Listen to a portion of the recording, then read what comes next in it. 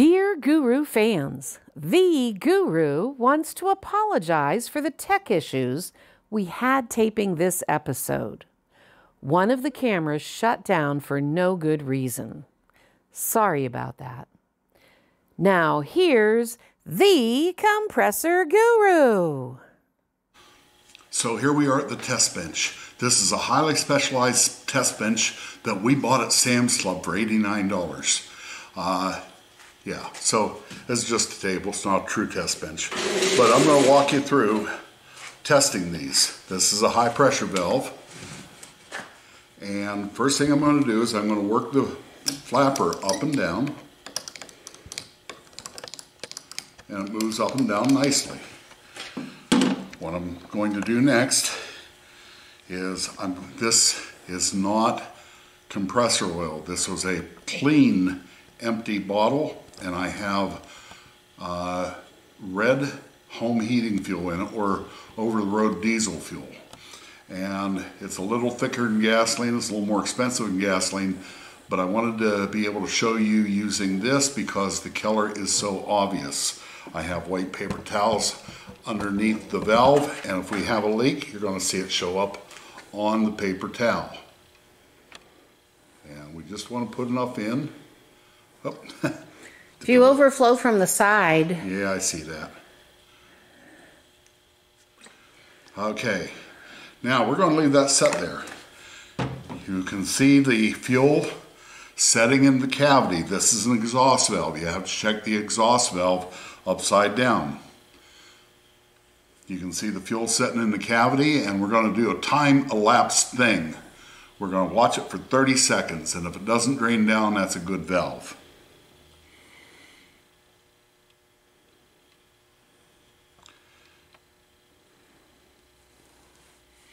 While we're waiting for that, I'm going to go ahead and fill the next one too. Going to make sure the, the valve spring is operating. Realize that you're spilling the other one. Okay. My goal is I'm pretty sure that 30 seconds is up. I keep it there. Uh-oh. Yep. okay. That one's full. Ah, here we got a great example. Shall I shift? Yeah, this one's good. Here we got a great example of a valve that's leaking slightly. I'm going to fill it back up to the top.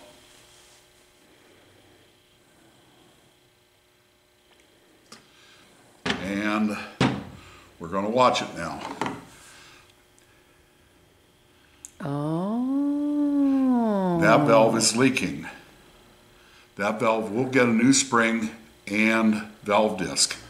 And it may end up getting a new valve. Because if there's damage, we'll tear this apart next. But if there's damage to that uh, I'm glad I'm back here, I'm not closer. You wonder why I come home smell like fuel valve? No, I don't wonder why. You just play in it. Okay. Okay, we filled it up again. I worked the spring up and down in case we washed a piece of dirt out. Nope, that- it's still going. Nope, it's still leaking. So, I don't think I can get it back in, I can't get the genie back in the bottle. so, so this one will definitely have uh, some work done to it. We will look at this one and if there's a lot of wear on the valve disc, we'll replace it anyway. If there's not a lot of wear on the valve disc, we're going to put this one back together and let her go. So this one, here is where those pins went that disabled the valve when they're unloaded. And this is the one that's the uh, high pressure side because it had more rust to it. Now that that's like that, use my light.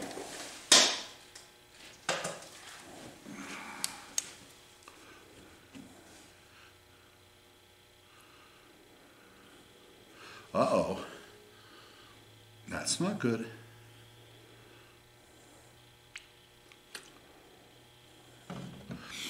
This one needs work as well. So we're not even going to keep playing with that one. That one's leaking pretty good. We're going to go to our last one. We're going to operate the valve, valve disc. It works up and down. Works up and down. Works up and down.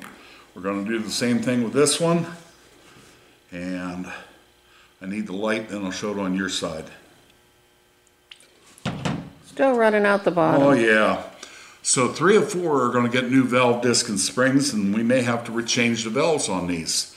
But that's how to test your valves, folks. I was just on the phone with somebody, I think you were in Florida this week, and we were I was walking you through how to test your valves.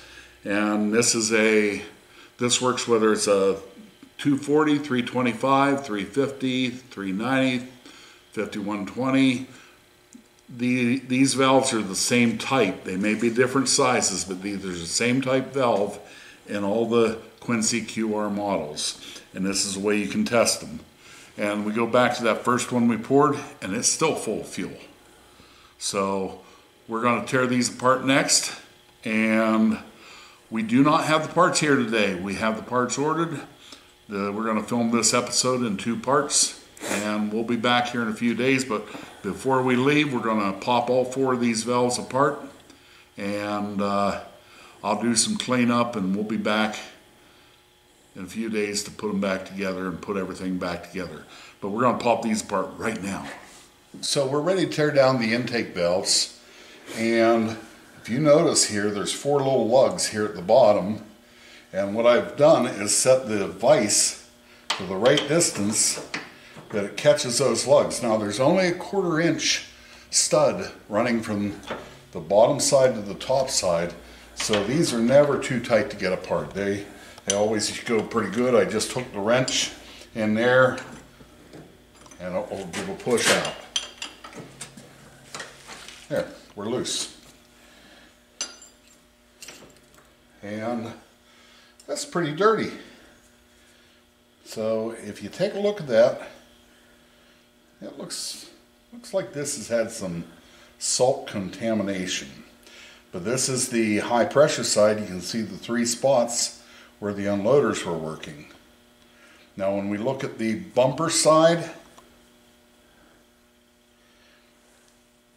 there's no defined marks in these this ring and this ring. If you've got a chip or something out of that ring, we replace the valve. If you've got a good machinist, they might be able to fix it for you, but uh, we would end up replacing the valve. This will be going in the parts washer. Oh, look at that. In another episode, we talk about the evolution of uh, the QR series. This is the older style spring in the QR series. The new style is a coil spring. I know you're going to go, this is kind of a coil spring. You'll see the new style when we go back together. But this is the older style. Uh, so somebody has obviously been in this and they had a spring, they used it, and it works fine. But what we'll How do, does it work? Oh, it, Okay, now we can see better. Thank you. but we will put the new style in it with a new washer. We will then test it. If it tests good, we'll go back together. If it doesn't test good, we'll get a new valve and just put the valve in. But we're going to make this machine right. So I'm going to keep this together and it'll go to the parts washer. Is that the one that did work? I mean, that held, that held? Oh, no, neither of the intake valves are holding very well. oh, yep. And same thing, real easy. And by the way, you noticed I didn't do one intake, one exhaust, one intake, one exhaust, because I got the vice set. Duh. Yeah.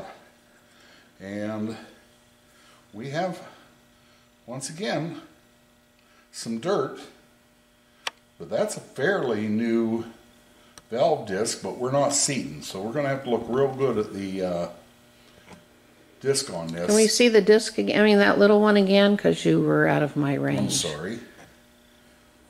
And this is just dirt. It's wiping off. Oh, okay. But we weren't seating. Now, some of the times, we will test a valve and find out it was a piece of dirt under the uh, valve disc into the bumper. This is called the bumper. And when I have everything cleaned up, I'll put a new disc in it. And once again, if it seats and holds fuel, it's a good valve, otherwise we'll re be replacing it. This also has the old style spring in it. We'll set that off to the side, spin this together, and we'll get set up for the discharge valves. These are a grade 8 bolt. And what we do, I used to have a tool made up that I welded together with a couple bolts on it and I didn't have to mess around with sizing and I just put it in and we were good until I broke it on a real tight bolt one day. I never made a new one so every time I have to tear You could probably make a new one of those on the same episode you make a new one of those other things you broke. you know that's a good idea. That's why I'm here. Now the other side of that is would you hand me the uh, impact? So Please. please. So you'll notice we put a couple bolts in and don't use good bolts you want to use again because when we hit this with the impact these threads will be ruined. I usually have a couple bolts laying here they must got thrown in the scrap iron but I matched them up to the cavities. There we go. And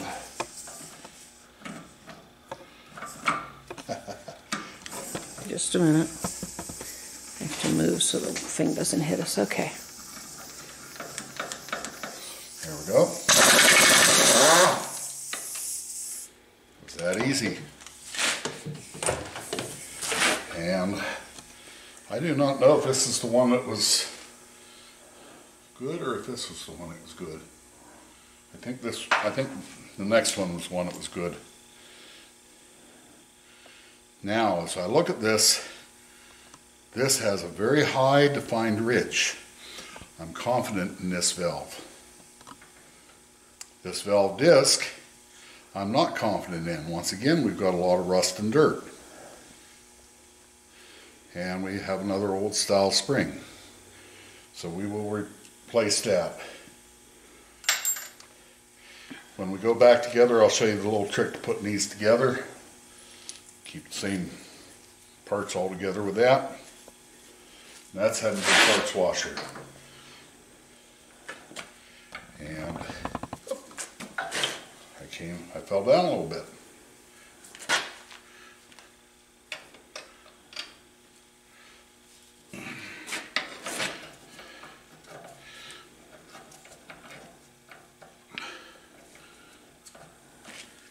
Oh.